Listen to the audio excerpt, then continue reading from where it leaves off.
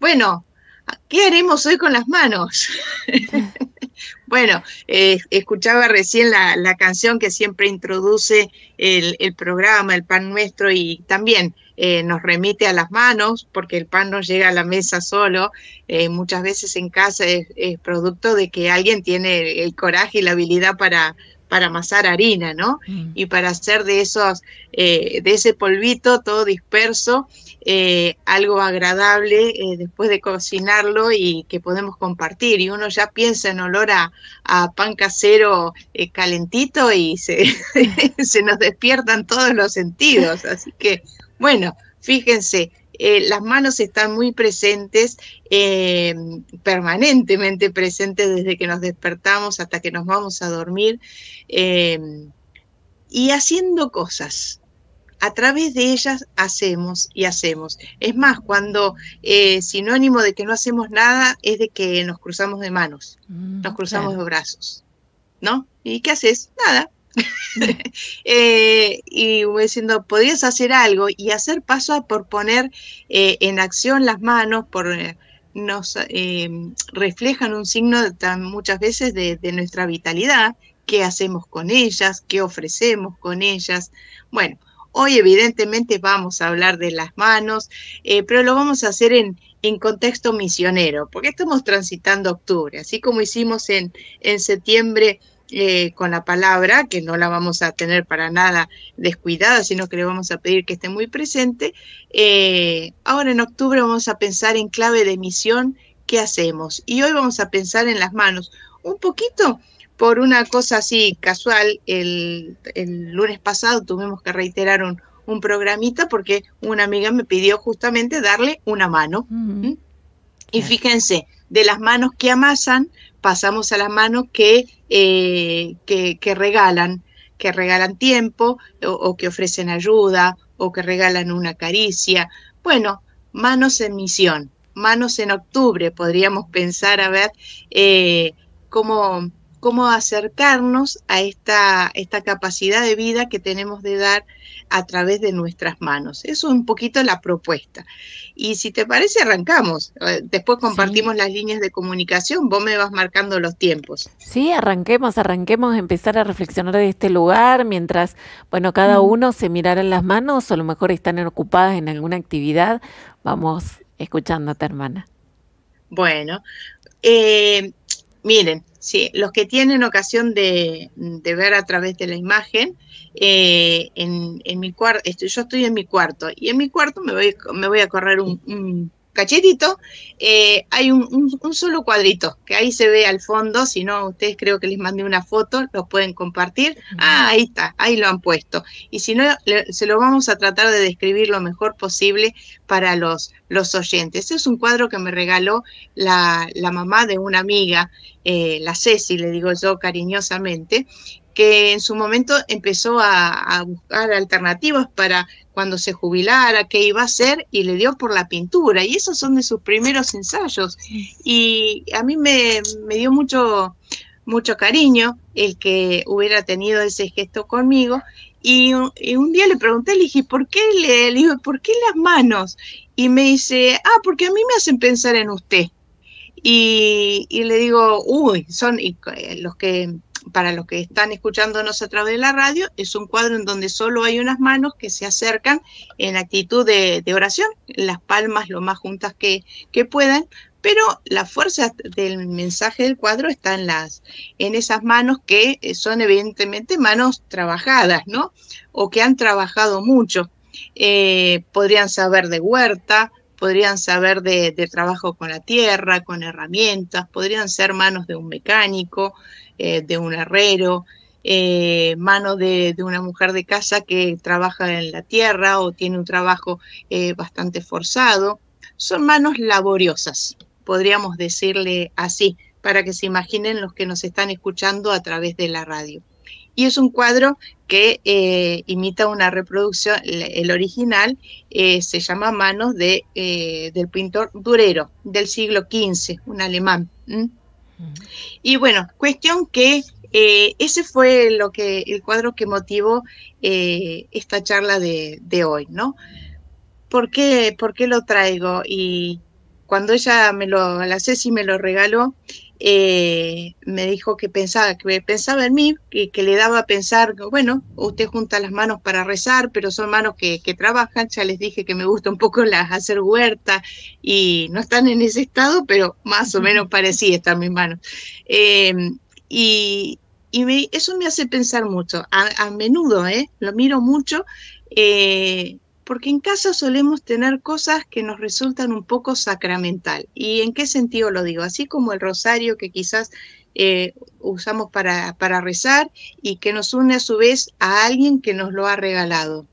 O quizás alguna, a veces es una piedrita, a veces es un portarretrato, a veces es algo que tenemos en casa que nos une a otros y que cada vez que volvemos con la mirada, volvemos con el recuerdo, eh, nos hace bien nos, conecta, como lo hemos hablado la otra vez con los, a propósito de los recuerdos, nos conectan con esas personas o nos conectan con esos momentos eh, y hacemos un poco piedra libre Dios por el mensaje, por la buena noticia que otra vez volvemos a encontrar en ellos. A mí me lo regala, por ejemplo, este cuadro. Me conecta con la historia. Este cuadro eh, Durero lo, pintó en una situación muy especial. Ellos eran una, eh, su familia tenía, eh, era miembro de una familia en donde había muchos hijos. Les dije, en el campo, Alemania, siglo XV. para que nos ubiquemos un poquito, se vivía del trabajo, un trabajo que normalmente era muy forzado, trabajo del campo o, en el caso de ellos, había una mina cerca, ¿no? Entonces, eh, extraer de allí era muy laborioso.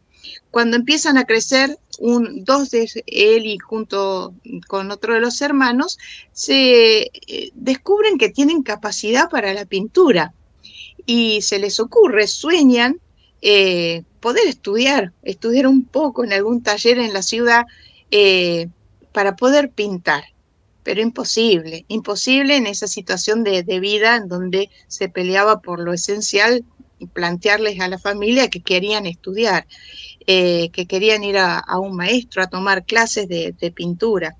Entonces ellos hacen un pacto, estos dos hermanos, en donde eh, dicen, bueno, uno va a trabajar para sostener al otro, el otro va, estudia, una vez que consiga vivir, trabajar de lo que, eh, de la pintura, eh, le paga el estudio al otro. Mm. Hicieron, tiraron la monedita al aire eh, y a ver que la suerte dijera quién se iba primero y quién trabajaba primero también para sostener al otro.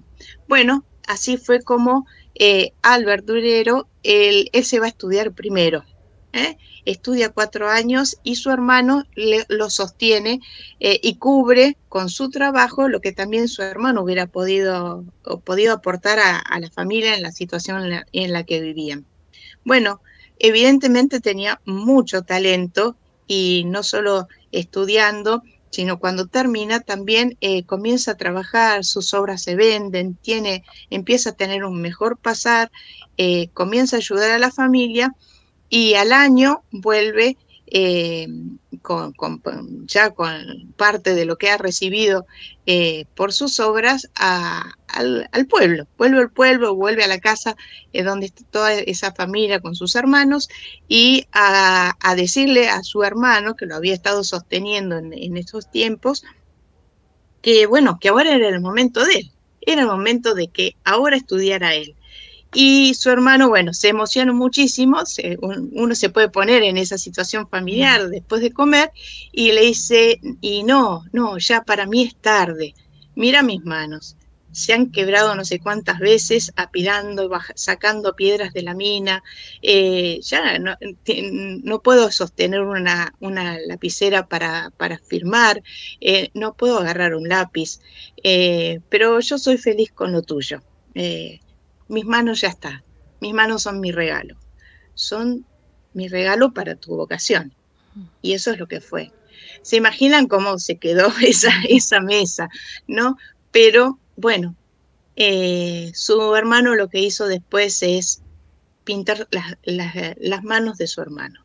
Mm. Y ese es el cuadro que está en casa, eh, esa reproducción, ¿no? Eh, que pasado la historia no se conserva el nombre del hermano de Albert Durero, sí sus manos. eh, el sacrificio de esos años, eh, las cicatrices, los golpes, eh, por dar vida y apostar al sueño de uno de sus hermanos. Manos que misionaron. ¿Fueron a misionar por ahí? No. Pusieron vida en aquello que, que podían ofrecer, que era el trabajo, que era lo cotidiano. Y a mí me hace pensar que muchas veces en, en, nuestro hogar, en nuestros hogares eh, a veces vemos en alguna familia algunas de las personas que sobresale o que tiene algún talento en especial, pero detrás de él o ella eh, hay muchas manos. Quizás necesitaríamos varios cuadritos de estas manos, que son quizás las madres de, las manos de, mamás que saben de amasar, de sostener desde la comida, desde la alimentación, desde las cosas cotidianas en casa, eh, o, o, de en casa o a veces afuera, en, el trabajo, quizás es en, la oficina o en un comercio, en, tantos lugares en donde eh, hay mamás que se rompen para que eh, sus hijos puedan tener una oportunidad, ¿no? Una oportunidad de estudio. O pienso en los papás también, a veces pienso en los hermanos, ¿no?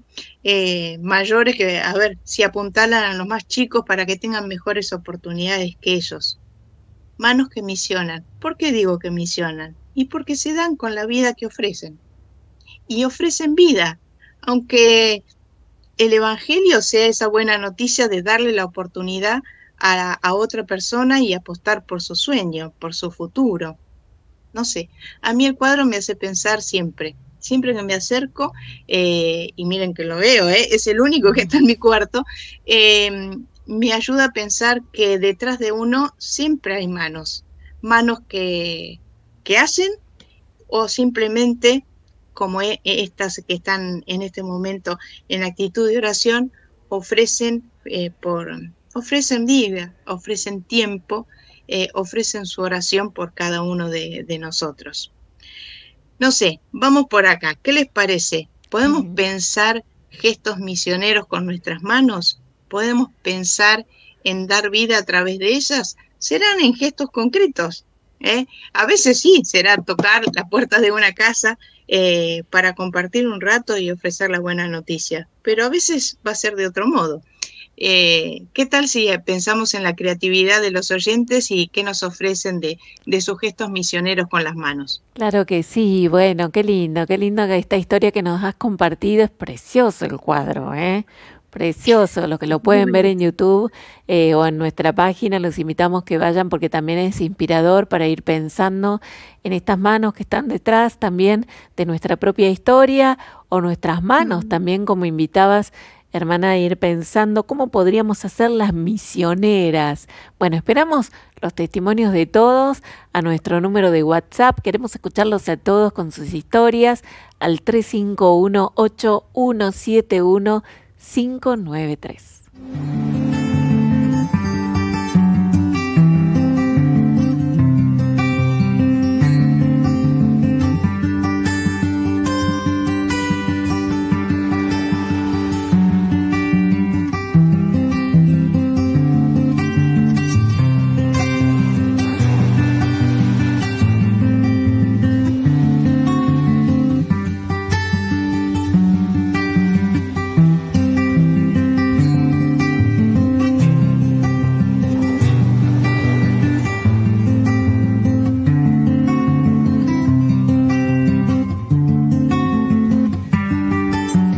Bueno, estamos recibiendo tu testimonio a nuestro número de WhatsApp 3518 171593. ¿Cómo podríamos hacer misioneras a nuestras manos? Bueno, gracias a quienes están enviando mensajes. Algunos todavía están pensando, los esperamos, ¿eh? queremos escucharlos a todos. Silvia de Córdoba dice, precioso el cuadro, de estar siguiendo también la transmisión a través de YouTube. Dice, misiono con mis manos realizando rosarios tejidos a crochet para dar cuando el Espíritu Santo me lo inspire, dice Silvia. También Carolina dice, recuerdo a mi mamá cosiendo cuando yo era pequeña, trabajaba para que yo pudiera estudiar. Gracias por el programa, dice Caro que nos está acompañando. Bueno, y mientras seguimos recibiendo testimonios, seguimos escuchando, hermana, esto lindo que nos estás compartiendo hoy, partiendo de este precioso cuadro de las manos. de la Ceci, mirá, vos sabés que la Ceci, y ah, te cuento a vos y a, mí, y a los que nos están escuchando, ni siquiera me lo quiso firmar, y yo le dije, Ceci, pero falta que me lo firmes. Eh, me dice, usted siempre se va a acordar que lo hice yo, yo estoy empezando, no, no puedo firmar esto. Eh, bueno, fíjate, ni se va a imaginar lo que estoy haciendo hoy con su, con su cuadro y con el tiempo, ¿no? Yo pienso a veces en las cosas que nos regalan o que nos ofrecen, en la vida cotidiana, ¿no? Eh, a veces, yo qué sé, eh, por las fiestas o a veces por un cumpleaños, a veces por un santo, por una ocasión especial nos regalan cosas eh, que hacen con sus manos otras personas, ¿no? Y no es lo que hagan o cómo les haya salido.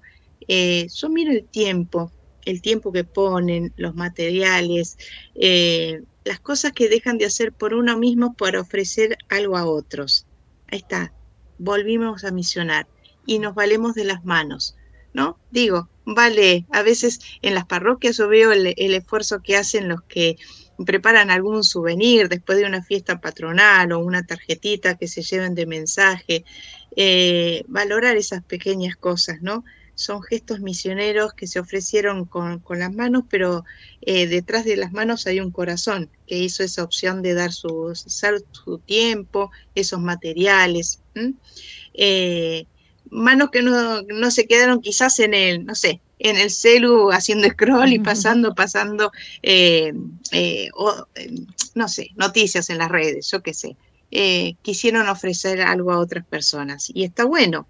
Y también estaría bueno quizás usar el celular en ese sentido, ¿no? Cuando usar los pulgares para generar, generar un mensaje en el que yo me interese por alguien que lo esté necesitando, ¿no? Seguro que tenemos conocidos que alguna dificultad de salud o de familia o de vínculos están viviendo y podrían, mis deditos podrían transformarse en dedos misioneros con un gesto de, acercarme, de ver cómo siguen, de ver cómo están o por lo menos que sepan que uno está, ¿no?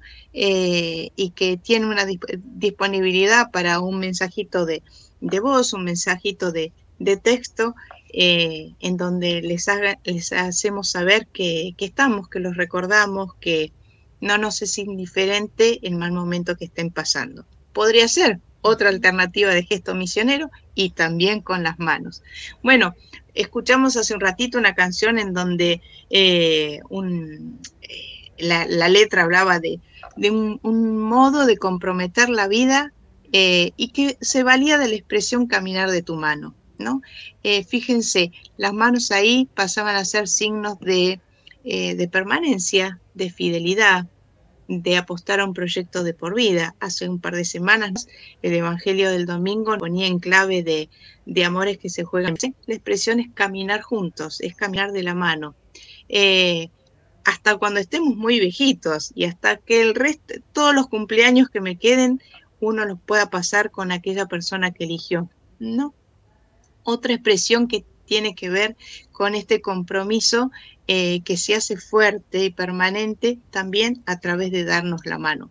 Y la mano, esto me, hacía pensar cuando eh, reflexionaba sobre el programita de, hoy, la tenemos presente en, muchos gestos, en muchas expresiones, más que gestos, eh, en dichos, ¿no? Esto de darnos una mano eh, es sinónimo para nosotros de, asistir, de, dar un de dar, ofrecer ayuda, eh, de nosotros decimos, bueno, eh, le hice un favor, le di una mano, y, capaz no involucró la mano, pero el colaborar, el ayudar, el asistir, lleva el símbolo de las manos. También el de aplaudir, porque lo hacemos de ese modo. Eh, otra expresión es la del apretón de manos, donde uno dice, bueno, ahora no es tan, no es tan habitual, pero los que ya tenemos algunos años nos acordamos de, nuestros padres eh, cuando querían sellar eh, un, acuerdo, alcanzaba un apretón de manos, sin papeles y, sin, y sin contratos, un gesto de, compromiso y que como si fuera un compromiso que estaba sellado eh, le di la mano y arreglamos esto, ¿no? Eh, es más, hasta se ponían un poquito serios, estoy pensando en alguna situación que me viene a la memoria. Entonces, ese apretón de mano era un símbolo de, acuerdo, de respeto, de compromiso, ¿no? No deja de ser hoy, hasta el día de hoy, un gesto de, afecto, de cariño, de encontrarse con la otra persona y de acortar distancias, ¿no? O no es a veces lo que hacemos con los, con los más chicos cuando se pelean entre hermanos y uno le dice, bueno, no, no le vas a dar un abrazo porque todavía te dura el enojo, pero bueno, por lo menos dense la mano, ¿no? Y, y uno dice, ah, bueno, esto ya cuando involucró el, el, gesto de cercanía, uno dice, bueno, acá empezó la paz. Empezaron a, cortar las distancias y a bajar los enojos. Otra expresión que involucra las manos eh, me viene a la memoria y está ya no tan en positivo es el lavarnos las manos, ¿no? Que tiene mucho de, de contenido bíblico para nosotros porque, bueno, ese gesto está en el, lo encontramos en los evangelios, eh, hacia el final de la vida de Jesús, la autoridad que tiene que decidir finalmente de si le da mal, le da curso a esa acusación eh, y esa condena que hace eh, las autoridades judías de, de, hacia el Señor, eh, Pilato, ¿qué hace? Se lava las manos. Y todos entendimos a partir de ahí qué implicaba, ¿no? Eh, no era un gesto de higiene, ¿eh? como lo hemos vivido tantas veces en, durante la pandemia, pandemia que decían lávate las manos, lavate las manos, una y otra vez estábamos con eso, sino que acá lavarse las manos era desentenderte, justamente. ¿No? Eh, no involucrarte, no comprometerte en algo que pudiera generar un problema, ¿no? Incluso hasta el día de hoy, a veces lo usamos así, cuando decimos, bueno, eh, fulano, mengano, eh, o en esa actitud y se lavó las manos. Se dejó ganar por la indiferencia, por el salvarse a sí mismo y ni siquiera correr el riesgo, aunque la ca causa fuese justa, ¿no? Bueno, Fíjense, las manos están presentes para hacer cosas buenas eh, y también cosas no tan buenas. Eh, lo más habitual, como recordábamos hace un rato, a propósito ese de lavarse las manos, lo tenemos muy presente eh, en el COVID. ¿Se, ¿Se, acuerdan? La pandemia nos pedían una y otra vez lavarse las manos, la higiene permanente, eh, utiliz no utilizarlas ni siquiera para, para, estornudar, que era lo habitual. Eh, no, el codo, ¿se acuerdan? Bueno, pero también nos pasó que no nos podíamos ni dar las manos y nos extrañábamos y anhelábamos y nos hacíamos gestos con las manos de, bueno, el, que más conocido ahora del corazón eh, que hacemos con las los pulgares y, y el índice, eh, o simulábamos que nos íbamos a dar las manos y nos sacábamos las palmas antes de, de, de que se tocaran. Eh, apelamos a la creatividad porque sabíamos que la cercanía afectiva necesitábamos expresarla. Y lo habitual, por lo menos, era con las manos. ¿No? Fíjense, creo que no hay que, eh, Dios quiera que no necesitemos pandemias para darnos cuenta del valor de esa cercanía a través del cuerpo. El cuerpo eh, con un gesto muy sencillo, respetuoso, pero que a la otra persona eh, la pone en, contacto con la realidad de, del cariño que le podemos ofrecer, de la cercanía, de la buena noticia, del decir que no está solo. Si no, piénsenlo desde ya en situaciones que han vivido eh, más duras, ¿no? Cuando uno está enfermo. Díganme, ¿quién no necesita que le dé una mano? Pero no la mano del favor, del que le sostenga la mano, ¿no? Del que no lo dejen solo, y que le hagan sentir que aún en ese momento que está viviendo, eh, hay alguien que misiona a su lado sosteniéndolo, ¿no? Pienso muchas veces en nuestros mayores, ¿no? Cuando necesitan no solo de la mano de la cercanía, sino hasta de la mano para caminar o para cruzar una calle. Gestos muy pequeños, o a veces en casa, el que, el que necesita que le sostengan una mano para poder dar un paso o alcanzar algo que le queda, que le queda alto, que le queda lejos o que no puede sostener porque es pesado. Hay gestos muy sencillos que cotidianamente eh, podemos ofrecer y ni siquiera sin, siquiera sin salir de casa, ¿no? Eh, casa también puede ser el espacio de, de misión, ¿no? Eh, nosotros en el programita nos habíamos puesto consigna a ver, las cosas de la fe, la, presencia de Dios que a, veces no siempre percibimos, pero que está en lo cotidiano, que ni siquiera hace falta abrir la puerta y salir, que los podemos desarrollar dentro. ¿No? Me parece que ahí vamos tirando varios tips eh, y vamos a dejar algunos más para, para el final. Respondiendo a la invitación de hermana Mónica a ir pensando en nuestras manos y qué gestos misioneros podemos hacer con ellas. Bueno, están llegando mensajitos por WhatsApp y también en nuestro canal de YouTube. Ana María dice, hermana, qué hermoso, testimonio bien concreto, ¿no? Que compartía al comienzo con la historia del cuadro, de las manos. Dice, muy distinto a otros testimonios donde está el yo solo conseguí esto o arreglatela solo vos, ¿no? Eh, muy distinto, dice, hay mucho egoísmo, indiferencia, individualismo y esas manos hablan por sí solas. ¿eh? Y dice, me acuerdo, al igual que los pies de Santa Madre Teresa de Calcuta y muchos otros testimonios. Bueno, vamos a escuchar también algunos eh, testimonios y compartir grabados. Adelante. Hola Radio María, bendiciones este día lunes. Estar hablando de tareas de eh, manualidades, de salir a evangelizar, eh, haciendo emprendimiento. También se puede evangelizar con voces, pidiendo que en una oración, rezando en cada casa eh, y particularmente pidiendo por la paz, por los enfermos. Eso también es, es muy bueno para salir a orar y como hacía en nuestro Señor Jesús. Así que sigamos orando y rezando, como dice Papa Francisco, y lo que todos hacen, labores eh, de manualidades, de estar ahí juntos haciendo rosario, como están diciendo, eso también es muy bueno porque alumbra al Espíritu Santo que nos siga iluminando. Beatriz de Empedrado, chau chau, mucha bendición.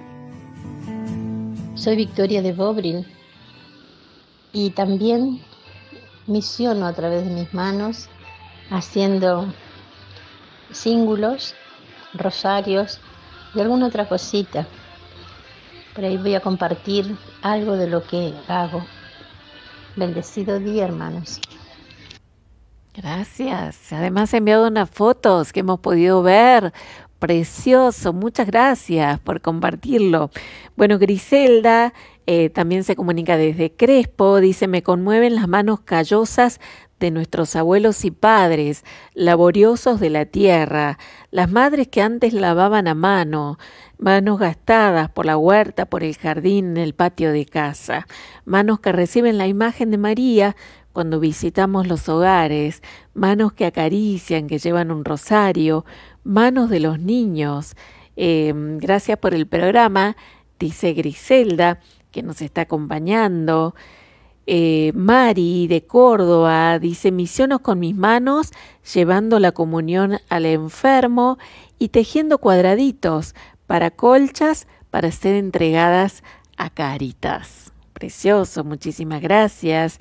Eh, Lucila desde Tucumán dice, querida hermana, las manos me hacen acordar a las manos laboriosas de mi mamita, tan trabajadoras, las manos de mis abuelos maternos, trabajadoras, ¿eh?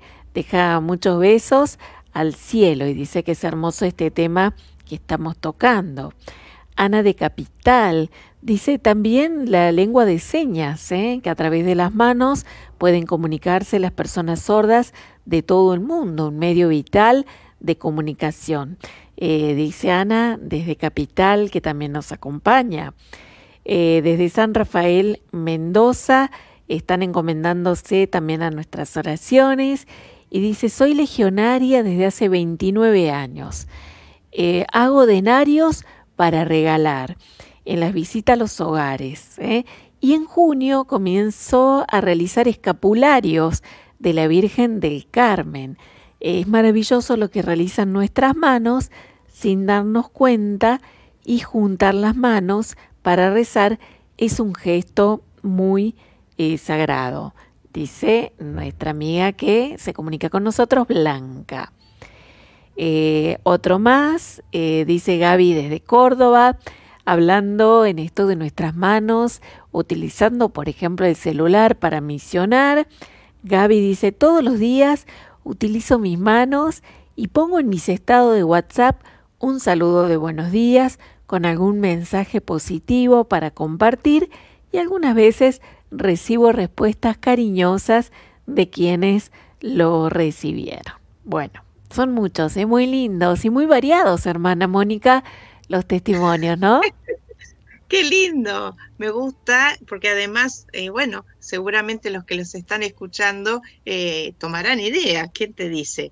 Eh, me gustó lo de los cuadraditos de Caritas, tal cual, ¿eh? Son eh, a veces cuando pasa, eh, pasaba más seguido a, en horario en que las señoras se juntan en la parroquia y en Caritas las encontraba cosiendo, ¿no? Meta coser, coser, no solo los cuadraditos, sino a veces remendando, terminando de completar quizás una prenda que faltaba un botón y demás, y cuando los saludaba, bueno, compartía un rato, bueno, avante con la misión.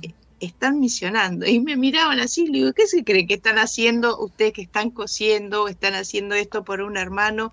Eh, están misionando con sus manos, con esas agujas, eh, preparando algo lindo para que alguien pueda aprovecharlo y, pasar menos frío. Vaya que si no misionan, claro que es una misión así, desde cosas muy sencillas hasta, fíjense, las que tienen eh, dones para generar artesanías o bueno, el mensaje del WhatsApp. Eh, a veces es el estado de, Facebook o de otra red social. Eh, amor, ponerle amor a esas manos y, van a saber por dónde irse, ir llevándonos. Y si a uno no se le ocurre, eh, capaz que hay que mirar un poquito más a Jesús, ¿no? a veces a Jesús lo miramos desde, desde sus palabras desde lo que está, eh, lo que dice, dicen de él o dice él en los evangelios, ¿no? Ahora yo los invito, quizás en esta semana que, estamos arrancando, eh, ¿por qué no le miramos a lo largo de la semana un poquito más las manos a Jesús? ¿Sí? Eh, y no se vayan solo a las manos que quizás tocaban algún enfermo y le devolvían la salud o lo ponían en pie sino bueno, en las manos del artesano, porque Jesús eh, es Mesías desde el primer momento que llega a, vivir con nosotros, desde el primer momento de la encarnación. Pero también en su vida de trabajo, en tantos más años, ¿no? Apenas tres misiones, nos dicen más o menos los evangelios, pero todo su otra, eh, eh, todo el otro tiempo, en su vida de, de trabajo, de familia, también siguió siendo Mesías y Salvador, ¿no? Entonces, y, ahí lo van a ver hacer a Jesús cotidianamente en una vida oculta, eh, no oculta en el sentido no pública, la vida privada, común de cualquiera de nosotros, sujeta al, trabajo, a las necesidades de cada día, a la vida social propia de aquel momento. Eh, y a mí me gustaría que se regalen un, poco más de tiempo para pensar en sus manos, en sus manos que quizás ayudaban a la hora de, eh, de trabajar la tierra, en sus manos de artesano, en sus manos em, que sabían de la del de no de que el, trabajo no las entorpeciera, no las embruteciera de manera que no le acortaran distancias con los demás. Porque la cercanía que después Jesús tiene a la hora de predicar y esa cercanía hasta física que tiene con la gente, que le hace cortar la distancia y tocarlos, tocar aunque fuesen leprosos, ¿sí? Eh, no, la, no, no, perdió esa capacidad de, expresarse, expresar cariño y cercanía eh, con sus manos a pesar del trabajo que había tenido o el trabajo al que se había abocado si fuera el de la tierra, si fuera el de la artesanía, o si fuera, bueno, eh, nos dicen que era el hijo del carpintero, por el taller debía andar, ¿no? Eh, y no nos imaginemos el carpintería de detalles finos y, artísticos, sino la artesanía propia de aquellos tiempos, eh, del de la mesa, del de una viga, de maderas para sostener una, una, casa, eh, marcos de puertas toscos. Bueno, imagínense, y si no pueden buscar un poquito cómo era la vida en, en Israel en el tiempo de Jesús, toda la Tierra Santa, y eh, de paso que la, miran sus manos, recen por la, por la paz en, eh, en, aquel, en aquel lugar. Pero volviendo, ¿por qué les quiero decir? No, que ninguna profesión nos aleje, nos enfríe las manos y que nos haga cortar distancias con los demás. Entonces, estos días podrían ser ocasión para primero mirarnos, mirar las manos de Jesús, mirar un poquito más las nuestras, eh, ¿Qué dicen? ¿Qué le dicen a los demás? ¿Cuánta vida les permito que, que ofrezcan? Si es a través de una caricia, de una ayuda, eh, de una presencia concreta que, que les permita expresar la, también las emociones que tenemos. Fíjense que las usamos hasta para hablar y no solo en lenguaje de señas, que qué bueno que sería que muchos más supiésemos, ¿no? pero nuestras manos permanentemente están hablando junto a nosotros, ¿no? Eh, mirarlas. ¿Y por qué no? Pensamos en las manos de Jesús, podemos rezar también con las nuestras y también podríamos pensar en los que nos han dado la vida, como decían hace un ratito, en las manos de nuestros padres, en las manos de nuestros hermanos, los que aprendieron a caminar con nosotros eh, o quizás justamente sosteniéndonos o nosotros sosteniéndolos a ellos si fuimos mayores o menores. ¿Quién no tuvo un hermano de los que han tenido justamente una familia un poquito más grande eh, al que le enseñó a caminar o lo ayudó a que se pudiera poner en pie o a levantarse después de las primeras caídas o le enseñó a andar en bicicleta? Y en eso estuvieron nuestras manos, ¿no? Eh, manos de los que recibiste la vida, y podrán pensar en las de sus mamás, sus papás, las de sus abuelos. Momentos que han vivido y que les toca la vida a propósito de las manos de ellos. Yo no me olvido de las manos de mi papá mirándoselas eh, cuando jugábamos un ratito al dominó, cuando ya viejito, ¿eh? Eh, y me hacían pensar muchísimo y las tengo grabadísimas, ¿no? o bueno, los que están en, matrimonio o en parejas o de novio y saben de caminar de la mano o esperar el gesto de la otra persona, o de, bueno, de contar con, si están las cosas bien, se sienten tomando, tomados de la mano, ¿no? Bueno, cada uno en la situación de vida en la que esté, ¿no? Eh, los invito a que las manos sean también expresión de, de vida, de buena noticia, ahí donde se puedan ofrecer y, puedan hacerlas llegar con un mensaje que, ¿por qué no? Muchas veces puede llegar a ser hasta una caricia de Dios a través de la mano de ustedes. Vamos por ahí. Que tengan hermosa semana. Gracias, muchas gracias hermana. Antes de despedirte te quería compartir los mensajes que van llegando, también de agradecimiento a vos. Eh, por acá en YouTube, Mariana dice, gracias hermana por tus consejos que nos dan paz y amor. Eh, por acá Isabel dice, siempre me admiraron las manos de los sacerdotes y cuenta que a ella le encanta arreglar la ropa de sus seres queridos porque siente que los mima eh, de alguna forma. Eh, por acá también dice eh, un oyente, bueno, no encuentro por aquí el nombre, pero dice eh, las manos de mi madre. Dice, cuando en medio del monte ponía en mi frente sus manos para tomarme la fiebre. dice, amo las manos de nuestra Madre María también. Vilma dice, mi papá me dejó como herencia y hábito dar la mano con sinceridad, agarrar toda la mano y muchos me dicen que es transmitir la alegría, también dice Vilma. Eh, desde Ramona, Zulema, dice gracias por tan lindo programa. Las manos de la abuela, la de mis padres, llenas de callos, arrugadas, y mis manos ahora eh, en cáritas haciendo acolchados, almohadones, las manos que arreglan el templo, eh, dice Zulema. Eh, bueno, dice este mensaje también, eh, siempre admiré las manos de mi mamá, dice Elena, que estaban para todas las necesidades de nosotros, que éramos ocho hermanos. Coser lo aprendí de ella y ahora con 80 años es una bendición arreglar la ropa de los hijos, de los nietos y también en Cáritas con mucho amor. Eh, dice, soy costurera, recuerdo las manos de mis padres, especialmente esas manos que transmiten los mejores sentimientos dice Miriam. Bueno, y así, así muchísimas manos se han levantado. Qué lindo. ¿eh? Con, fueron llegando. Fueron llegando, fueron llegando. Así que gracias, hermana Mónica, por la posibilidad de tenernos en nuestras manos que están tan presentes y que justamente a veces pasan de manera invisible, ¿no? Eh, para empezar a prestarle atención a las nuestras, reconocer aquellas que nos sostuvieron, como bien dijiste, y esta semana como tarea mirar más de cerca las manos de Jesús, también en la oración. Así que gracias.